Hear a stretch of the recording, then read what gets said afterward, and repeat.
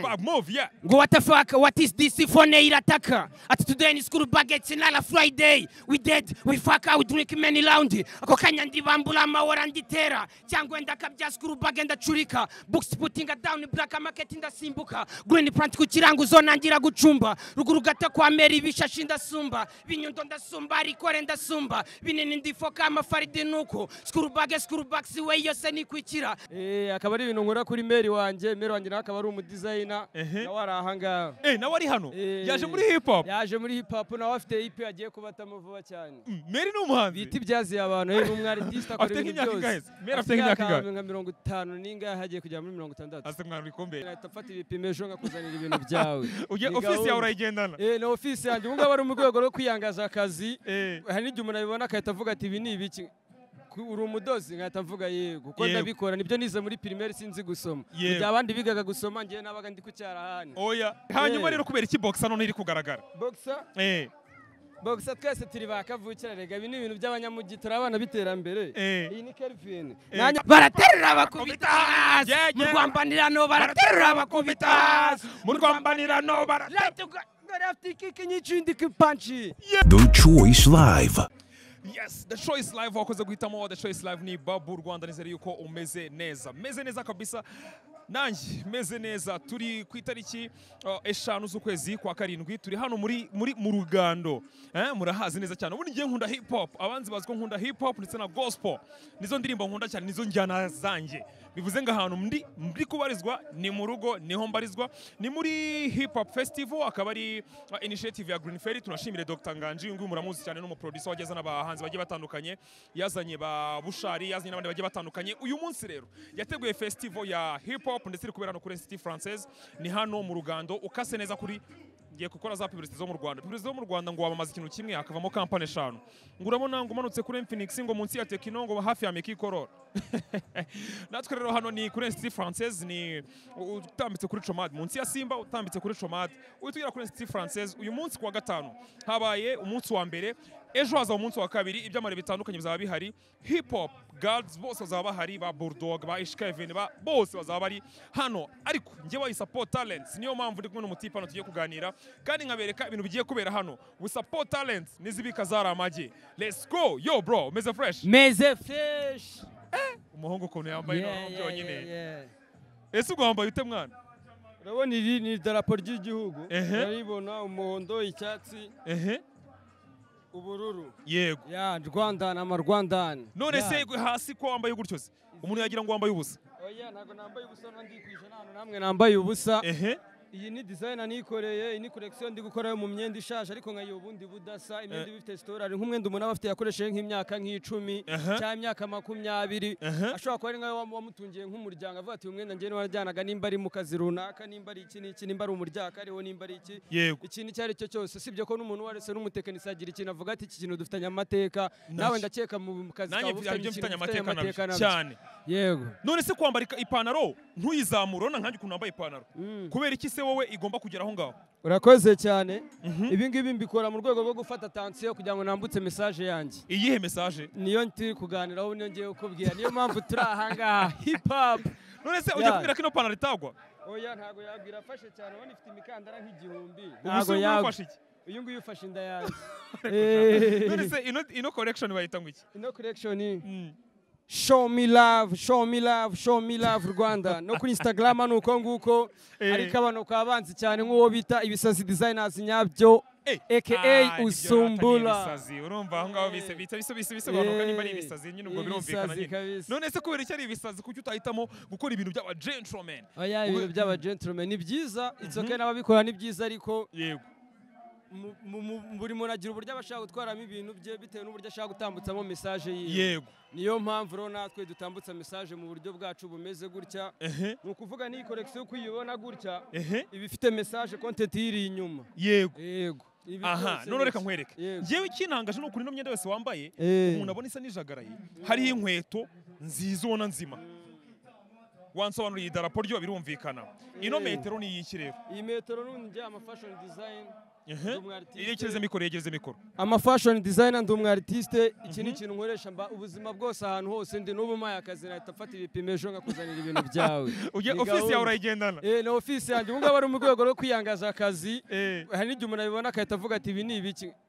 Uri umudozi nkahita mvuga yego. Kuko ndabikora ni byo nize muri primaire sinzi gusoma. Igihe abandi bigaga gusoma njyewe nabaga ndi ku cyarahani. Oya. Eh, akaba ari ibintu nkora kuri meri wanjye meri wanjye nawe akaba ari umudizayina nawe ari ahangaha Eh, nawe ari hano? Eh. yaje muri hip hop yaje muri hip hop nawe afite IP agiye kubatamo vuba cyane. Mm, Mary ni umuhanzi? Bita ibyaziye abantu ni umwaritiste akora Afite ibintu byose? Mary afite nk'imyaka ingahe? nka mirongo itanu n'ingahe hagiye kugera muri mirongo itandatu. Ase mwana wikombeshya Eh, ahubwo ni wawe ni we ngiye kuzana nawe tugakorana ikiganiro.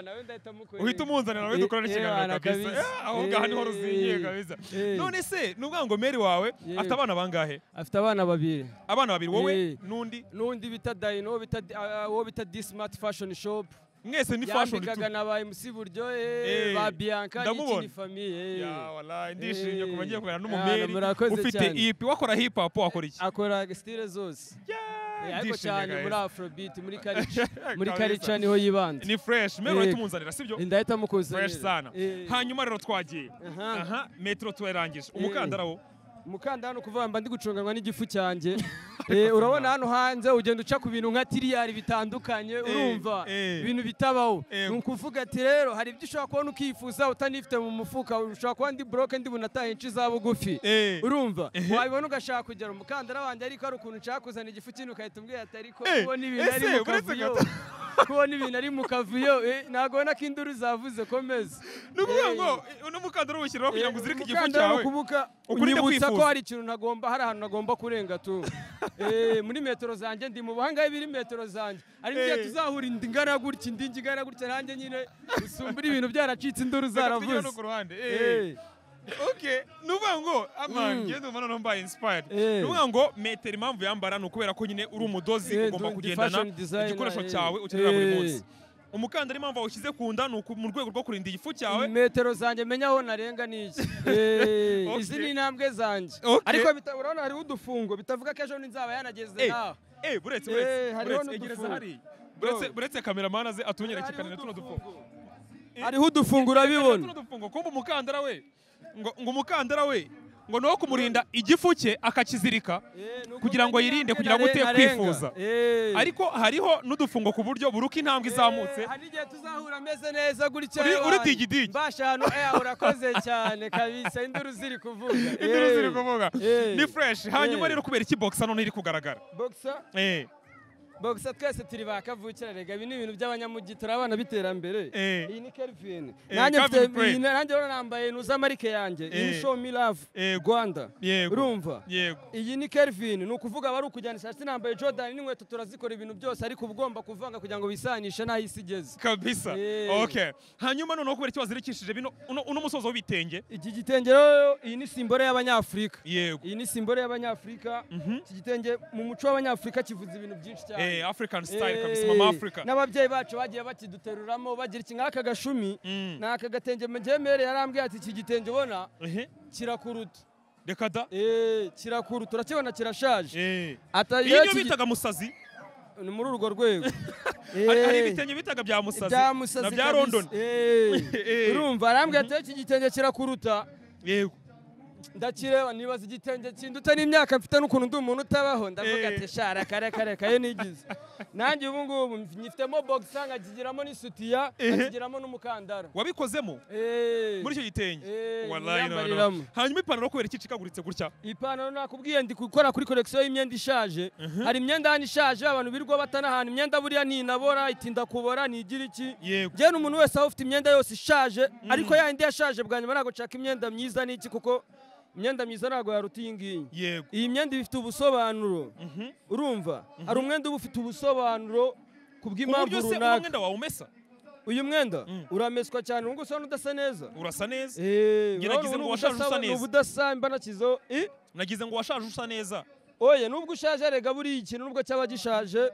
Wakimeshaho ukanyuzaho agapasi ikintu kiba kimeze ukuntu ubona kiri ku bwibone. Kabisa. Eh. twatindiye abantu wenda twagiye imyenda yawe Eh. ahubwo nkubita akantu wambwiye ko uri umuhanzi bro twagiye muri hip hop hip hop Si waranyandikiye? festival. Eh nari narakwandikiye narakubuze bambabarire babu. Byongeye kugukubita boro. Ninkufata uzahita unumira mu kiganiro njye nza nta ribi mbibwire abanyarwanda ariko urabona ko urabona ko mani Eh. ibintu binahereze message n'abandi bantu.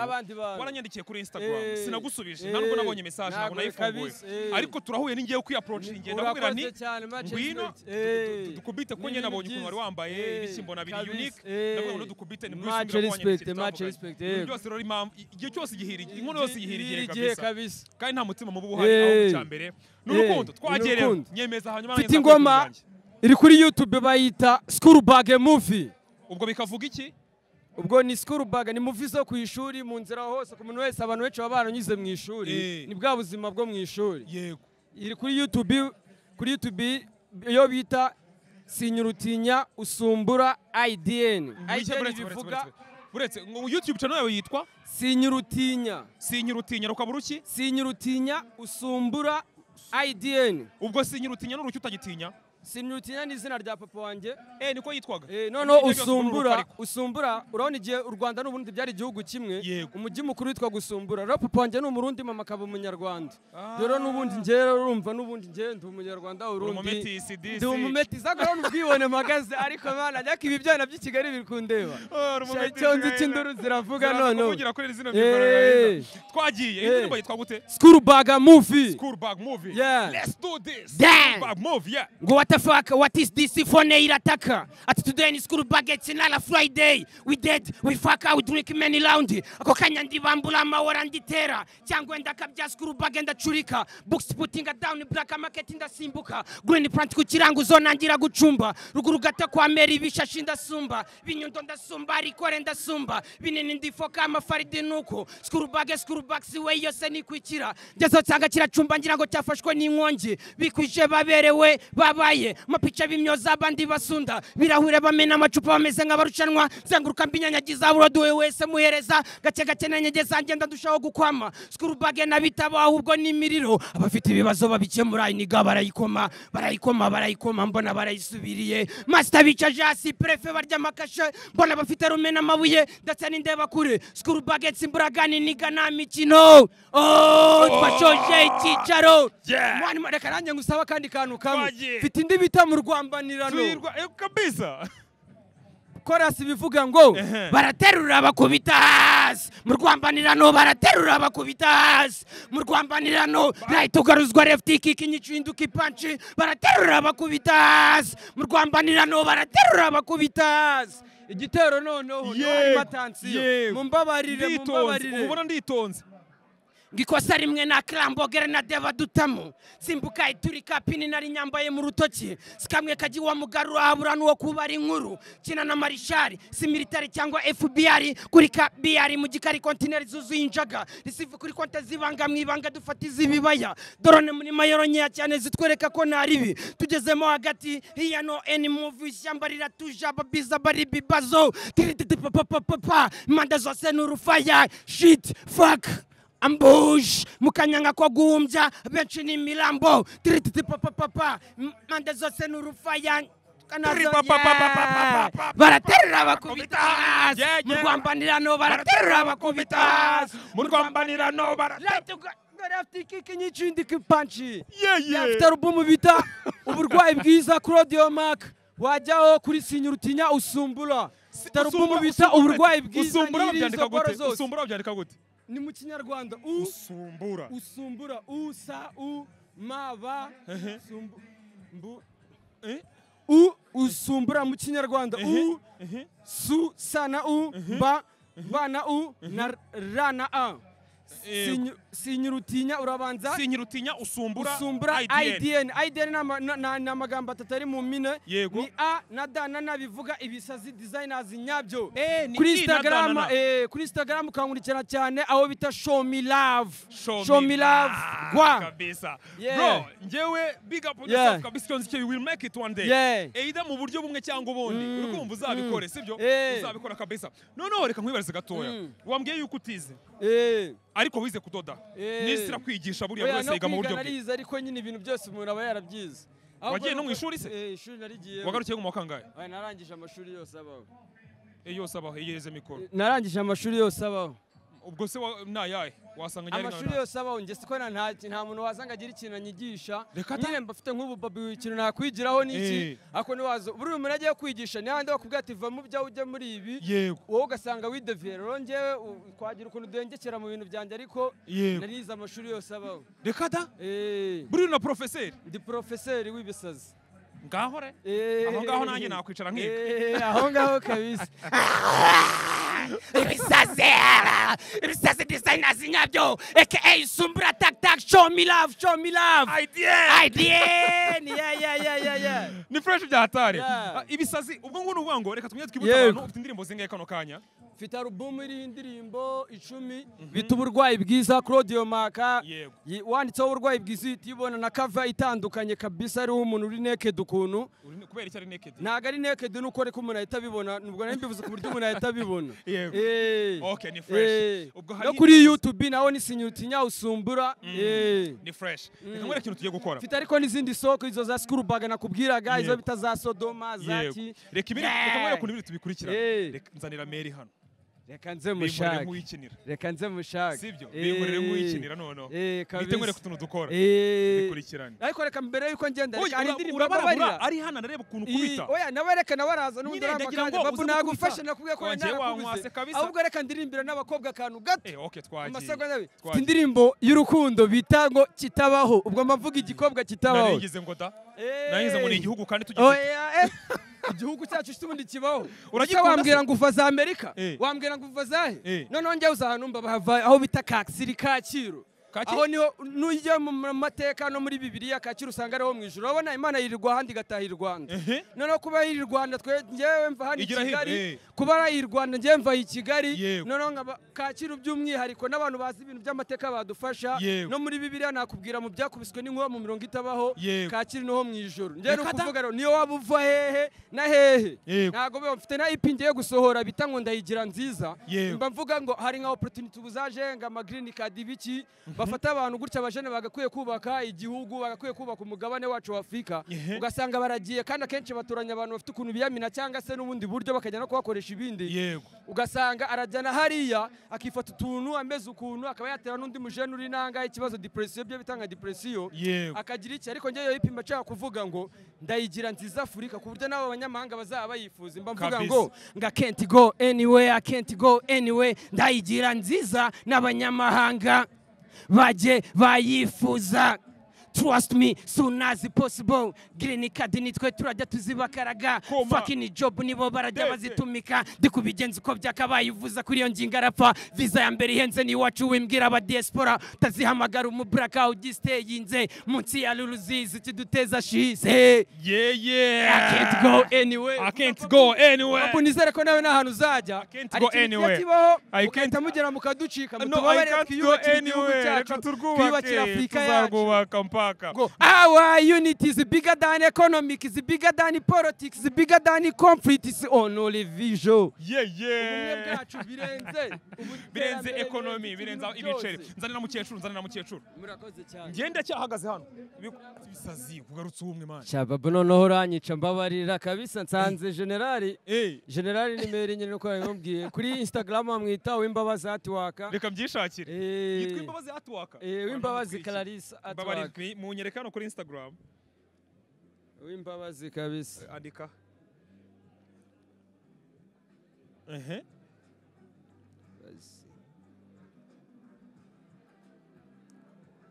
Clarissa? Mm. eh mero wakoresha na instagram. Eh.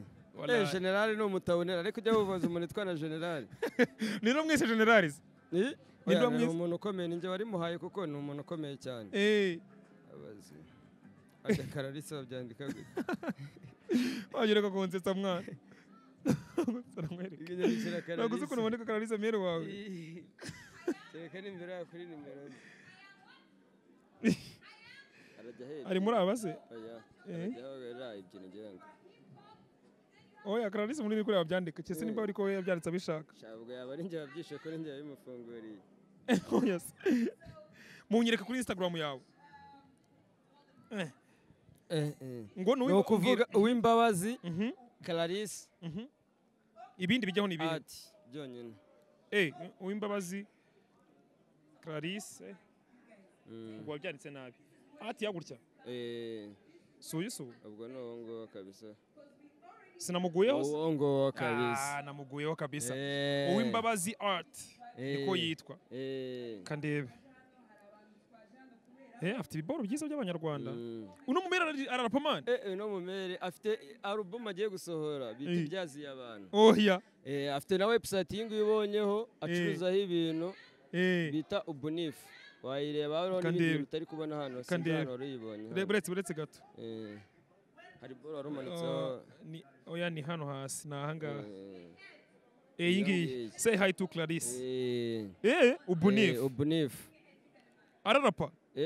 Ibintu byose. Araririmba? aragira ibintu byose ndababaye, umwartiste ibintu byose. Ndabaye ku urabona aba arimo. yatayemo n'ibyamamare aba ni ba mikoro abazi eh ndababona Eh, kabisa.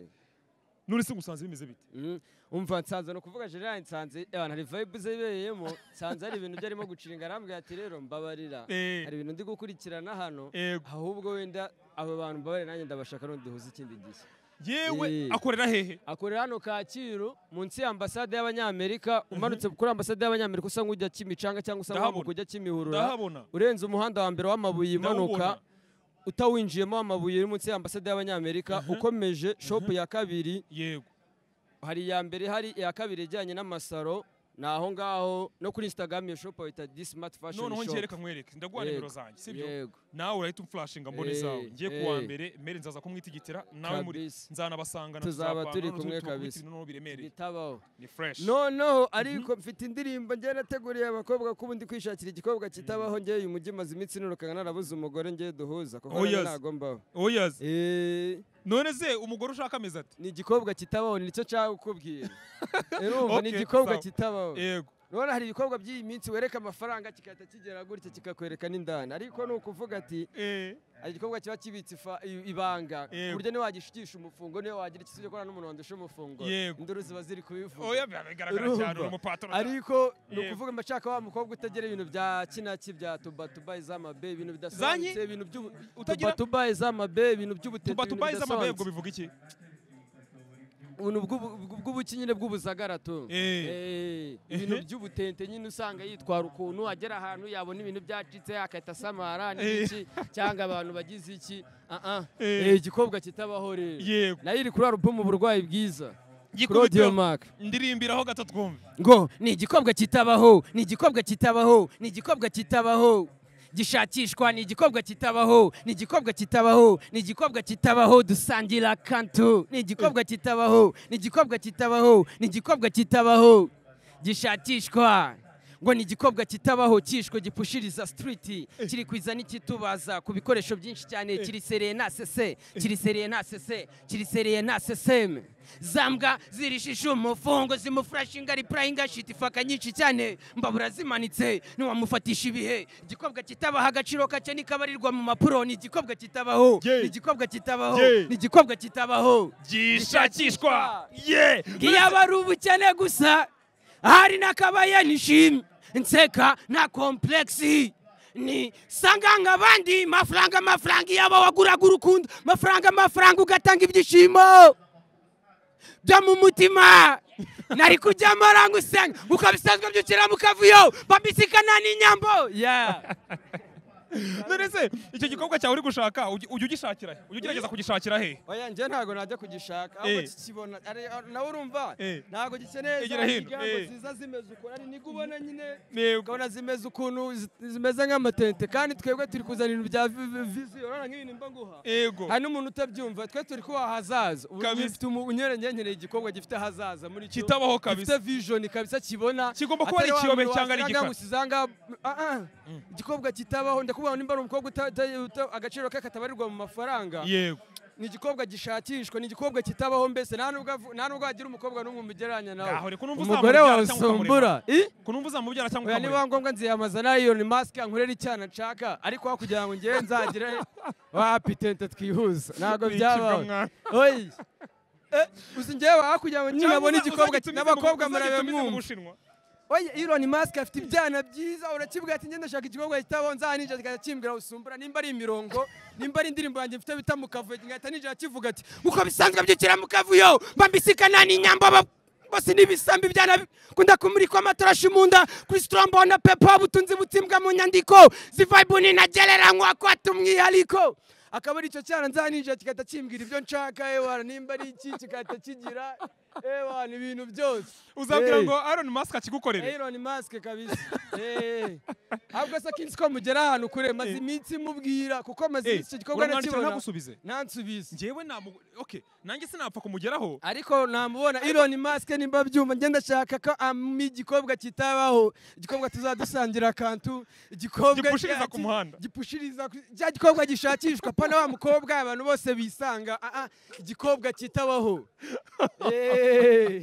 icyo gikobwa nzagufana tukibone Eh, noneho babu nari rero nakubwiye ko nari naragushatse mfite video ufite video bita it's Eh. my privacy. Kuri sinyura utinya usumbura IDN iyo ndirimbo nawe nayinyuzaho gato abantu bakayumva. yikubite.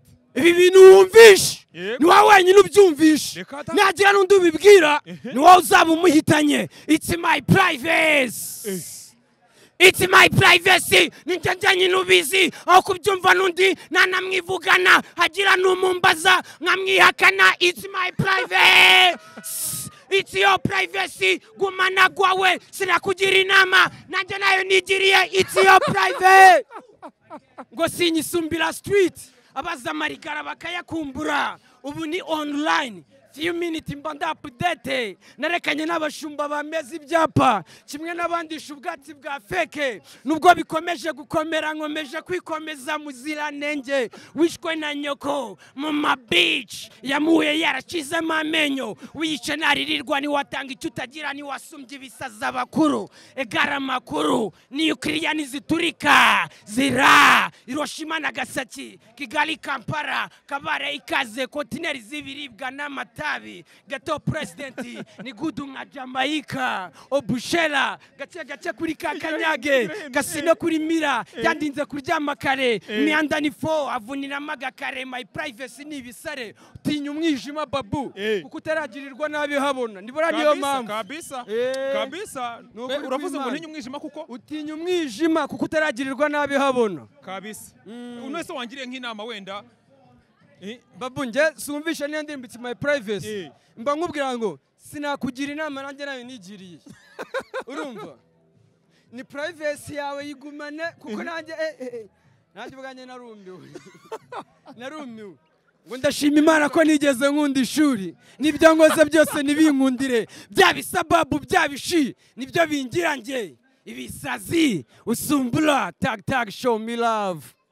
Bye nzagaruka gushaka kuri kumwe na mukecuru harya kuri instagram witwa kuri instagram witwa show me love rwanda show me love rwanda Rwa. kuri kuri youtube. Kuri youtube sinyira utinya usumbura IDN.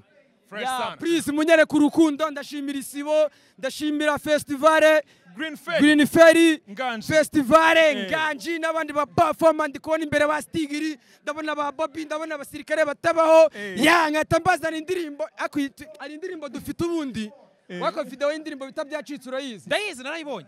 Ariko babu kuki nk'iya ndirimbo muba mutayikina babu ndakubonye. Muba muri abanyamakuru zanyu. ndirimbo njyewe ndabihamya muri iki gihugu. Eh. nta ndirimbo yaba ari na ba melodi yaba ari na ba yesu yaba ari n'andi nta ndirimbo ya ruta byacitse wayikoranye nandeze ni ni iy'ibisazi wajya kuri akawuti wo bita ibisazi na mugenzi wanjye wo bita kangwesha kangweshi Eh, Ni ngo fresh. byari ibya acitse byari byacitse kigali hose basaze. Ndeba hino nkabona babunuje. Nareba hirya nkabona bakubiswe. Dore abasinzi gusa dore abambaye ubusa dore abakora imibonano ku manywa yanga izuba riva. Ninjiye kurabiko cyandi naryo. Kumwiryo mwici ndetse ngabiri ihene wa mbere mbaragira turika. Nani stop barabikora nkabirangiza na the round 5 na the round 5 na the round 5 5 5 5 5 it's like bob day abantu bose bara n'ibirura n'inama ugoswe bararengeza n'abari b'imishaha n'amaho y'ukuri. N'abami b'imihanda amarigara n'ibihodi. Big deal crazy map we finish job g. Mbara ubukerurema ni we upanga mu byiciro bya shi shi shi shi shi haso barakwikira baraceza barendana n'ejo bashyingura baraterana ubuse icupa ku gikuta. Barabarura na vigo behind inyanda so mu kazi kose. N'imihanda imihanda yose wacu karungurutswe byacitse kabaye twatwitse. The Choice Live.